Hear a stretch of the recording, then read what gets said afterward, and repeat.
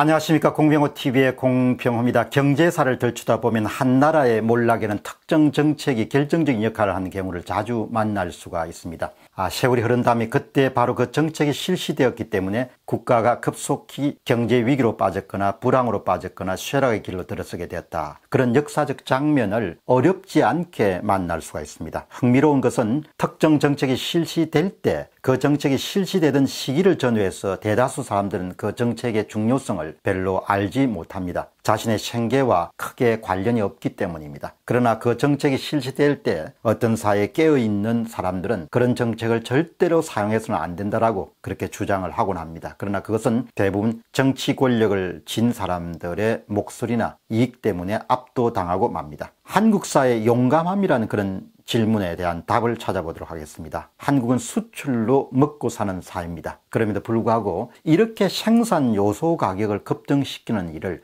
아무런 생각 없이 고민 없이 마구잡이로 할까? 이 같은 생각이 요 몇 년 사이에 제가 항상 갖고 있는 머리를 떠나지 않는 그런 의문문 가운데 하나입니다. 2008년도 글로벌 금융 위기 후에 한국 사회의 뚜렷한 특징은 거시 자료를 보면 생산성이 정체되는 일과 동시에 급격하게 임금 인상이 이루어지는 일 동시에 이루어지게 됩니다. 근래 한국의 수출 경영이 계속해서 하락하고 수출 증가율이 전년 대비 계속 마이너스를 기록하고 그리고 무역 수지 흑자 규모가 급속하게 줄어들고 이런 부분들도 지나는 10여 년 정도 누적된 결과들이 바깥으로 드러나는 사건이 아닌가라는 생각을 합니다. 지난 2년 사이에만 하더라도 최저임금을 급등시키는 일이라든지 각종 조세와 준조세 부담을 늘리는 일을 보면서 저는 이렇게 한탄합니다. 이 사람들이 지금 정신이 있나 없나 라는 그런 한탄입니다. 자신들의 생계가 어떻게 이루어지고 있는지를 직시하지 못하는 사람들은 이에 상하는 그런 벌을 받을 수밖에 없습니다. 그런 행위가 무지함에서 비롯되었거나 아니면 정치적인 목표를 달성하기 위해 행해졌든 간에 이유 여하를 불문하고 결국은 비용을 치르게 됩니다. 자신의 처지와 형편과 능력에 개의치 않고 생산 요소 가격을 계속 올리는 사회는 결국 몇 가지의 공통된 그런 후유증을 치르게 됩니다.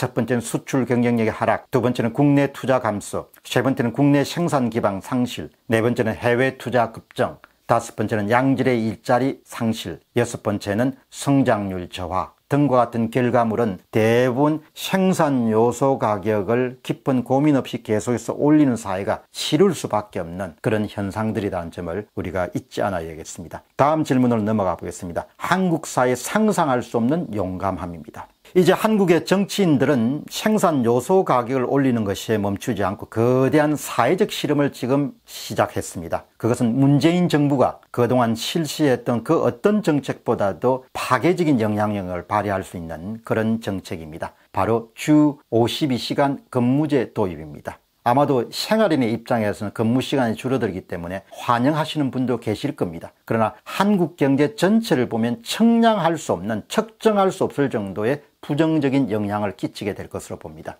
이 제도는 과도한 근무 시간을 축소시키는 일이다라고 이렇게 이해할 수 있는 분도 계시지만 실질적으로 그것을 정확하게 해석하게 되면 한국인들 스스로 한국 산업 발전의 손발을 묶어버리는 지나치게 악의적이고 개입적인 악법이자 자해적인 행위다 이렇게 보시면 좋겠습니다. 다시 이야기하면 주 52시간 근무제는 국가라는 공권력이 나서가지고 한국인들의 산업 기반 자체를 그냥 손발을 다 묶어버리는 겁니다. 국가가 나서서 획일적으로 일주일간 누구든지 52시간 이상을 이 근무를 할 수 없도록 그냥 만들어버린 겁니다.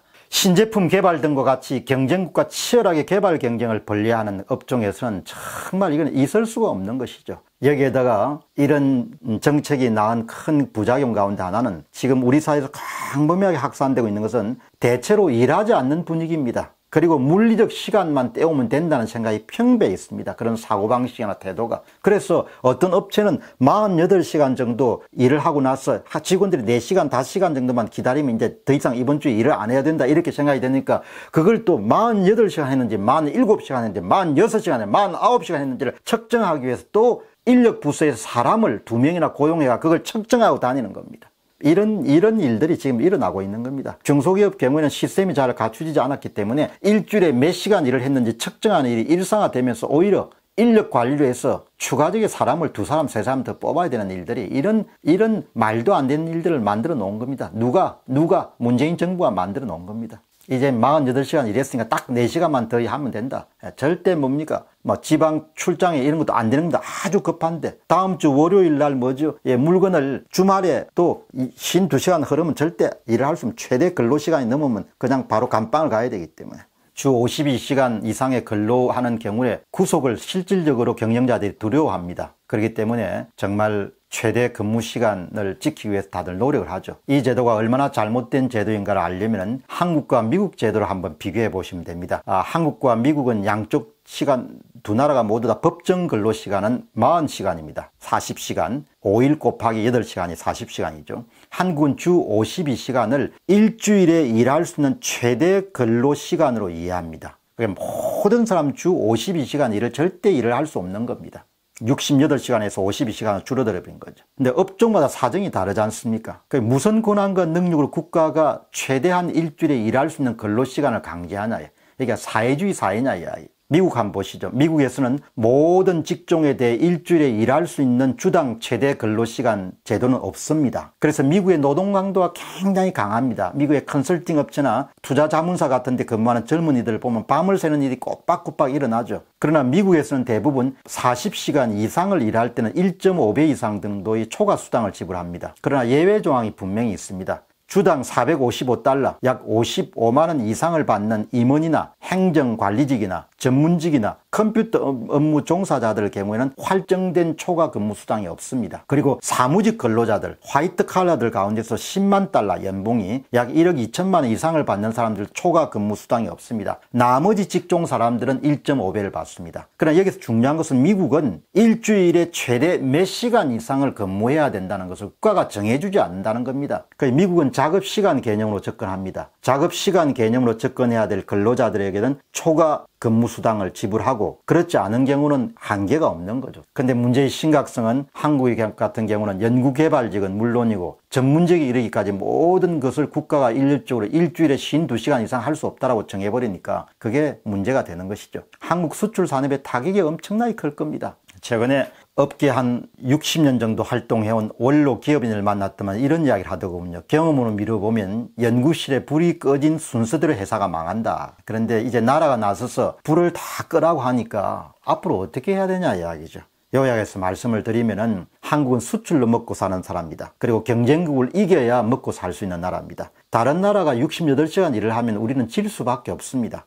시간을 두고 근로 시간 전체를 줄여나가는 사회적인 노력은 반드시 필요합니다. 그러나 지금처럼 업종에 불문하고 한 사람이 일주일당 최대로 근무할 수 있는 시간을 52시간을 정한 것은 악법 중에서도 악법에 해당한 겁니다. 제정신 잡힌 사람이 머리에, 머리가 있는 사람 같으면 절대 생각할 수 없는 것이 주당 52시간 이상 모든 사람은 일을 할 수 없다는 그런 악법입니다. 일을 하기 위해서 이제 숨어서 일을 해야 된다는 이야기. 집에 가가지고. 그러면 이제 어떻게 해결해야 되냐? 이 제도가 만들어졌으니까 지금 이제 대기업에 대해서 300인 이사가 실시되니까 그 회사만 실시하고 나머지는 유예 기간을 거쳐서 좀 뒤로 미루는 겁니다. 그것이 한 가지 선택할 수 있는 것이고 그 다음에 두 번째는 300인 이상 대기업에 대해서도 빠른 시간 내 탄력 근무제 같은 걸 실시해 주기 바랍니다. 그러니까 일주일에 52시간 이상 일을 못한다 그렇게 할 게 아니고 6개월에 몇 시간 이상 일을 못한다. 1년에 몇 시간 이상 일을 못한다. 그렇게 해서 사람들이 일에 몰렸을 땐좀 일을 많이 하고 그 다음에 일감이 없을 때는 좀 쉴 수 있는 그런 식으로 탄력적으로 운영할 수 있도록 그렇게 만들어줘야 됩니다. 참 대한민국 정치하는 사람들 정말 밥통들입니다. 52시간을 정한 것은 너무나 경직적이고 너무나 엄격하고 너무나 파괴적인 그런 부작용이 있기 때문에 6개월 단위로 한 1년 단위로 이렇게 해서 기업 하는 사람들에게 숨통을 좀 터줘야 그래야 되, 되죠. 공병호 TV의 공병호였습니다.